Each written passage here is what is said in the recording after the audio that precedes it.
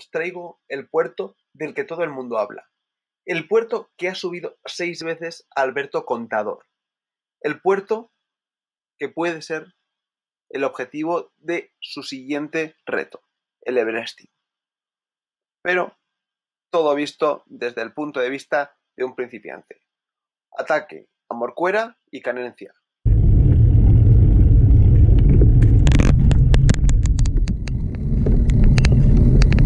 Buenas a todos. Hoy os voy a contar la ascensión, el doble ataque a Morcuera Canencia que hicimos mi grupeta y yo hace dos semanas partiendo desde Tres Cantos.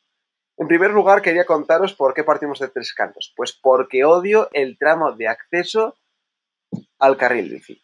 Es insufrible.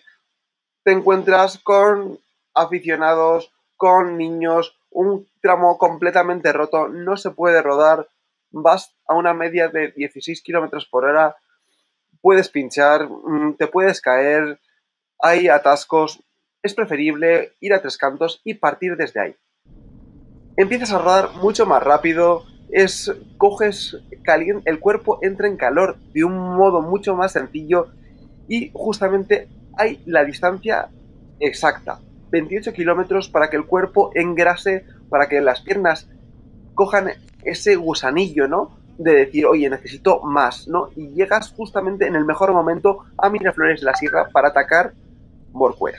¿Qué decir de Morcuera? Morcuera es un puerto asequible. ¿Asequible por qué? Porque tiene un buen pavimento. No tiene rampas excesivamente duras. Solamente tiene dos tramos con el 10 y el 12%.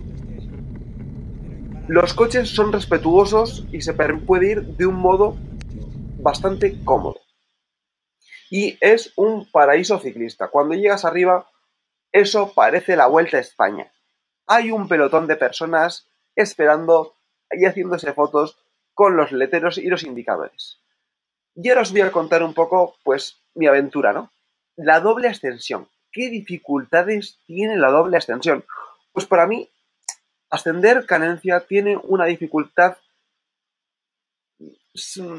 baja, es decir, es un puerto que es bastante sencillo. Mm, pasa un rato, empiezas a subir y no te das cuenta de que estás subiendo hasta el momento en el que te encuentras la rampa dura y ya cuando llevas un morcuela detrás, pues empieza a hacer bola.